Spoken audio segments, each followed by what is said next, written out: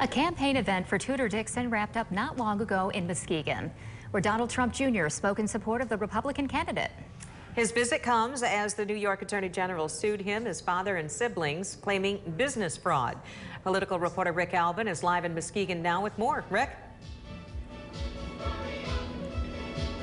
Former first son Donald Trump Jr. made the second of two stops in Michigan here in Muskegon this evening, campaigning for Republican candidate for Governor Tudor Dixon. Now, most of Trump's speech was leveling criticism at the current president and particularly at the FBI, who has recently raided Mar-a-Lago. But he did talk for a time about the importance of the candidacy of Tudor Dixon. But as I say, most of the time he was talking either about what was going on in the Biden administration that he disagreed with, or how he disagreed with the federal government, particularly the FBI. And here is how he categorized that raid in Mar-a-Lago.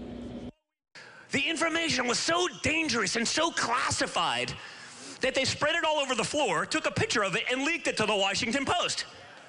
Because it's so sensitive. It was so sensitive that it remained under covers for like 18 months in Donald Trump's possession. And yet, within five minutes of the FBI having it, the Washington Post put it up on the front page. Still trying to figure this one out.